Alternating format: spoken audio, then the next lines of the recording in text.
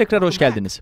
Basit lens yasasını öğrendiğinize göre artık biraz daha detaya girebiliriz. Bir önceki alıştırmada basit lens yasasını i eşittir o çarpı f bölü o eksi f olarak ifade etmeyi öğrenmiştik.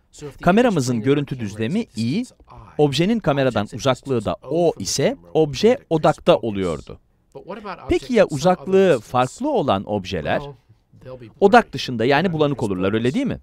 Mesela burada odaktaki yapraklar basit lens yasasını sağlıyor. Ama arka plandaki objelerin bulanık olduklarını hatta bulanıklığın daire şeklinde olduğunu görüyorsunuz değil mi? Bir önceki videoda bu şekillere bulanıklık dairesi ya da hayalet çemberler demiştik hatırlarsınız.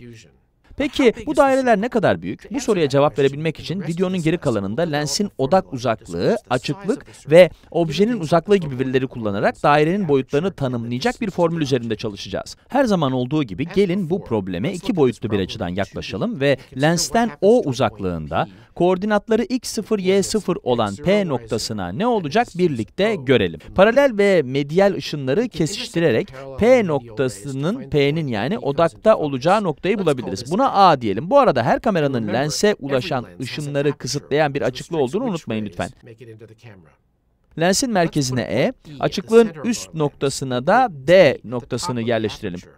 Böylelikle DE açıklığın yarıçapı olur ve P noktasından çıkan ve DE açıklığından geçen tüm ışınlar A noktasında odaklanır. Ve eğer görüntü düzlemi i uzaklığındaysa P odakta olur. Görüntü düzlemi farklı, mesela i üssü uzaklıktaysa da P'nin görüntüsü şema üzerindeki BC aralığında bulanık olarak elde edilir. Bulanıklık dairesinin yarıçapı işte bu uzaklık yani BC'dir. Hesaplamalarınızı bitirmeden önce bu şemaya alışabilmeniz için biraz ara vermeye ne dersiniz arkadaşlar? Böylece alışabilirsiniz.